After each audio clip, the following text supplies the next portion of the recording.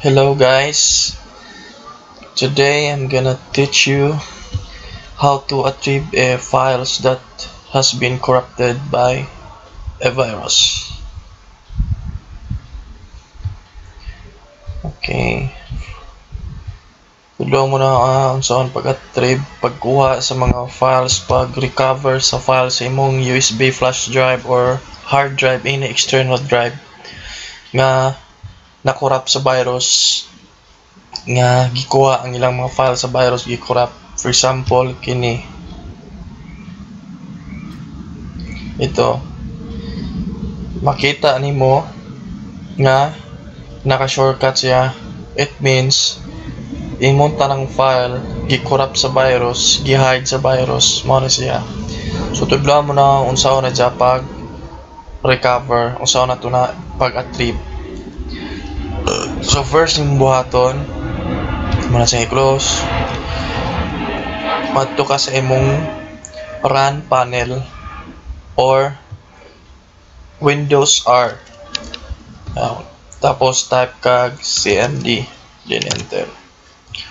Kani gawas ang CMD nimo. Imong tanaw nung unsa to nga drive. Then balik ta tanaw na to kung sadya nga nakalocate nga drive. Nasya sa drive H. Removable disk H. So ato tong timan-an type tag H colon then enter. Mailani mo na kay mugawa sa subos so kana kani gawas sa ubos simply mo type ra ka og attrib brush. Attrib name sa drive.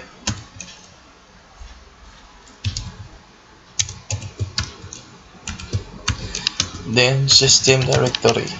Then after og imo jud na suwat og tarong ang code ang syntax then press enter. Ug yun sa nato pakibaw nga nauningana na si Jais ang imong syntax or imong code ang command niya imong gi-type dire mugawas na siya diri sa above sa imong Windows dialog.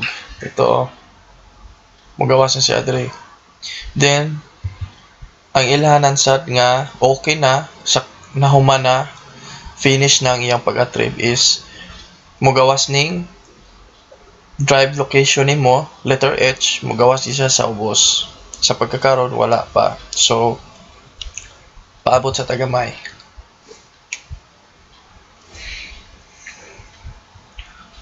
Paabot gamay kay 8 gig mangod nagdepende po na ang kadugayon niya sa memory sa imong drive. Sa nga kaning ako is 8 gig. So medyo 8 gig siya. Tapos nasa mga files nga bugat bugat sad so medyo malugayan siya. Paaboto na nato na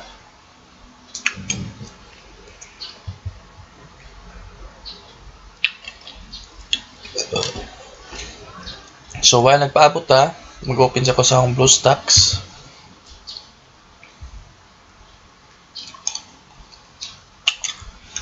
Uh, excuse me, sorry.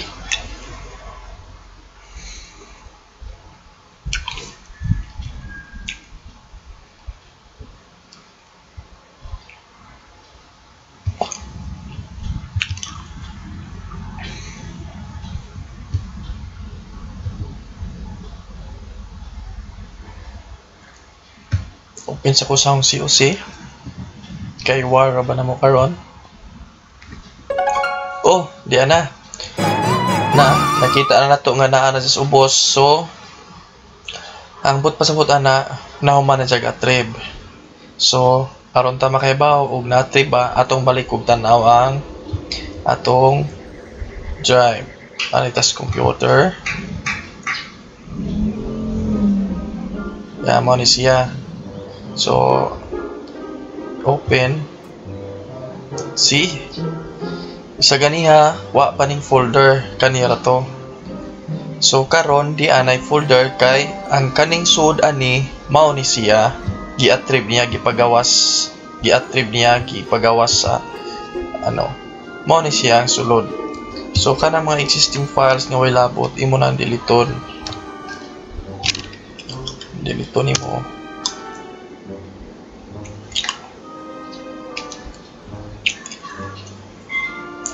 mo ni siya mga virus nga naka-cause nga nung na-attrib ay imong files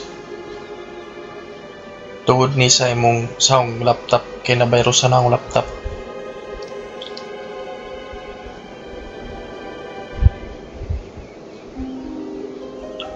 Okay. Ni-sorry mo na files mo, nanitanan sa sa files. So, na-attrib na nato. Then, pwede rin mo ning i-rename. Butang tag Sheldon files.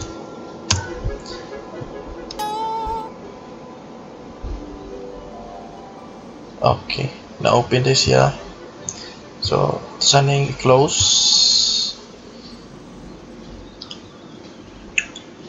Then, rename tagbalik.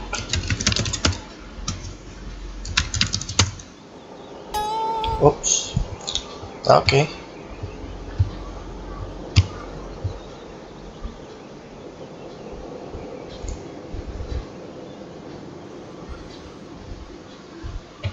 So, delete na niya. Wa manilabot ni delete na lang siya. Okay.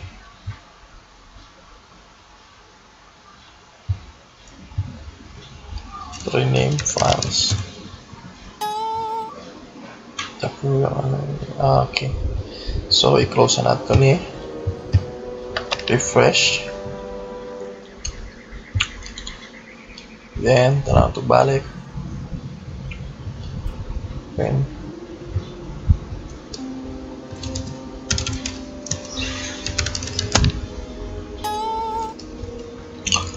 So, kani nag naara ni sa gamay nga kasikas pero alam most important is kadto kay bawal tao kung saan itong pag-trip diba? Na itong files